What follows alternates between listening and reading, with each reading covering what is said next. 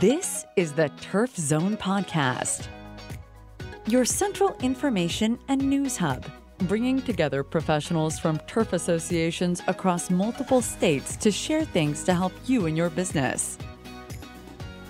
Brought to you in partnership with our friends at the New England Sports Turf Managers Association. Now, let's get in the zone.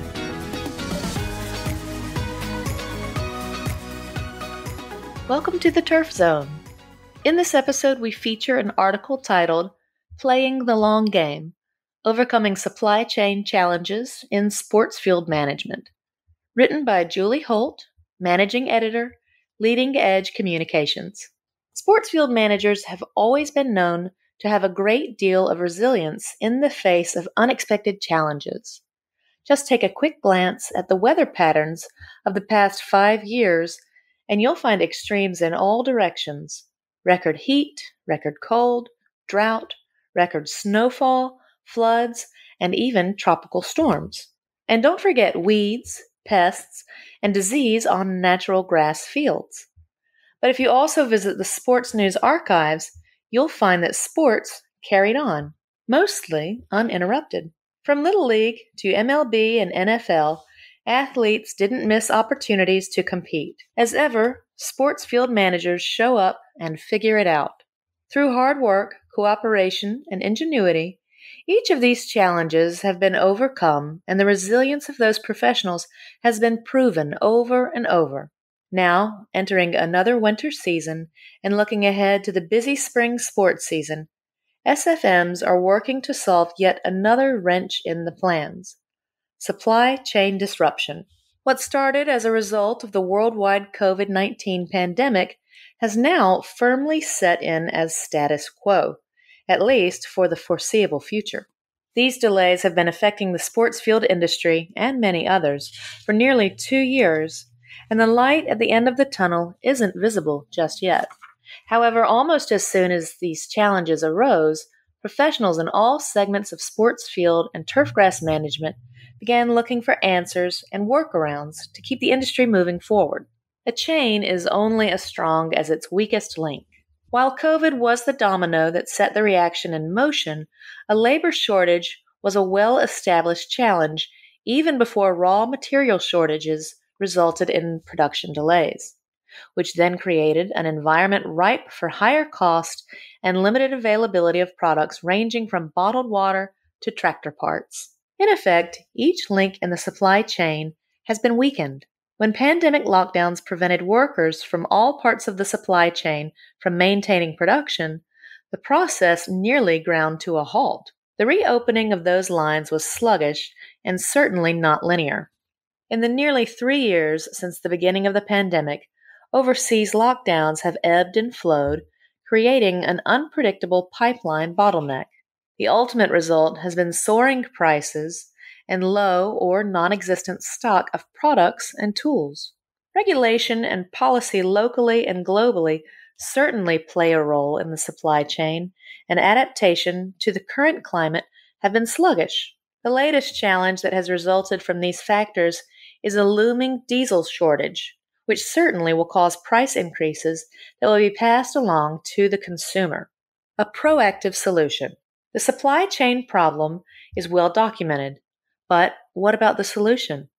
Every distributor, supplier, and salesperson echoes the same line plan ahead and be proactive. What does this entail exactly?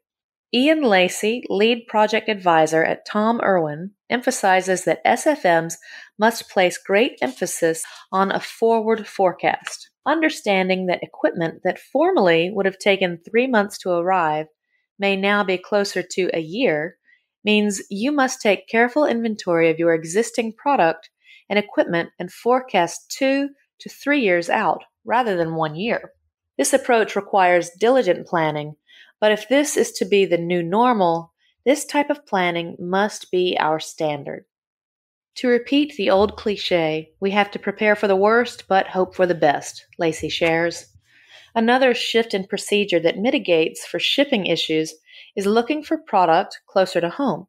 Understanding the many variables at play, eliminating the need to have products shipped overseas, can speed the arrival of some products. Adam Ferrucci, sales representative at Read Custom Soils, reiterates the need to plan ahead, but also to continuously monitor prices and delivery times. Asked how his customers had to adapt, he said that they must be more proactive and give proper lead time to deliver, and reach out for quotes more frequently to be able to budget for price increases. While suppliers can't magically make stock appear, they can keep their customers informed and encourage them to be forward thinking. Ian Lacey shared an example of just how frustrating this situation can be. We helped a client rebuild a baseball field. The weather slowed us down, but we had time. But then the supply chain slowed us down. We ordered the part, a simple water meter, and what should have been delivered in three weeks was up to 16 weeks. The contractor had already seeded the outfield, but we had no water. This one small part that only took three hours to actually install set us back months. Nearly every SFM can tell a similar story. But as this industry does, we've come together to share solutions that help to ease the burden of this supply chain bottleneck. Professionals in all areas of sports field management have put their heads together to innovate and educate their peers and even competitors on solutions to this challenge. Mark Casey, Sales Territory Manager in Massachusetts for Finch Turf, shares his transparent communication process with his customers. To be helpful and to best serve customer interests, the conversations have substantially changed. We are recommending they take stock of their inventory today, draw a plan to secure their fleet for the current and coming season, and have a plan B for all scenarios if a machine goes down.